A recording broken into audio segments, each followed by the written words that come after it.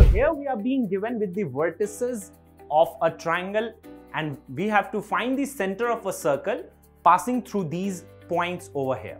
You've got a triangle and uh, there is a circle passing through the three vertices of this triangle, right?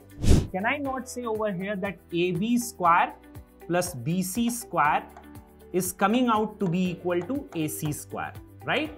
So when you've got a right angle triangle, the circumcenter is the midpoint of the hypotenuse. You already know that. It is the midpoint of the hypotenuse or the center of the circle circumscribing this triangle over here and that is the answer. So here we are being given with the vertices of a triangle and we have to find the center of a circle passing through these points over here. So basically the rough figure will be something like this. You've got a triangle and uh, there is a circle passing through the three vertices of this triangle, right?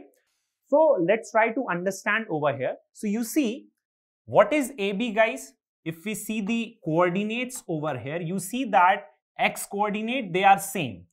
So AB will be what guys? The difference between them between 5 and minus 3. So AB over here will be equal to 8 units, right?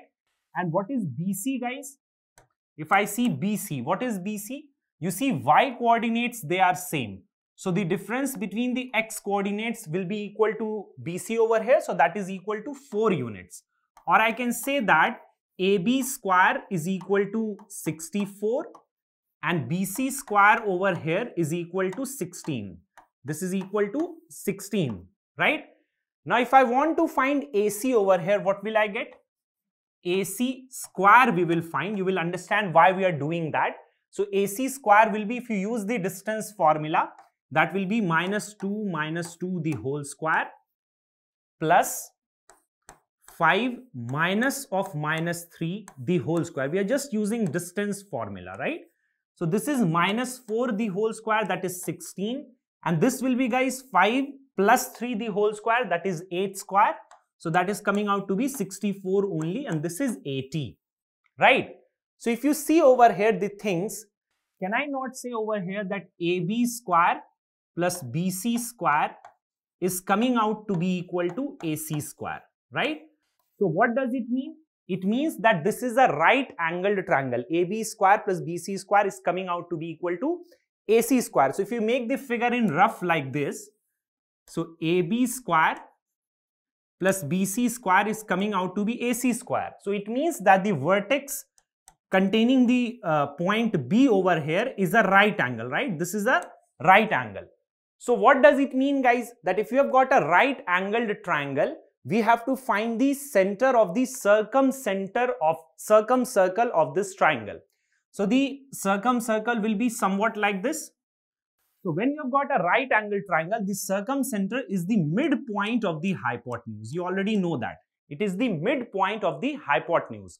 It means we have to find the midpoint of the line segment joining vertices A and C over here.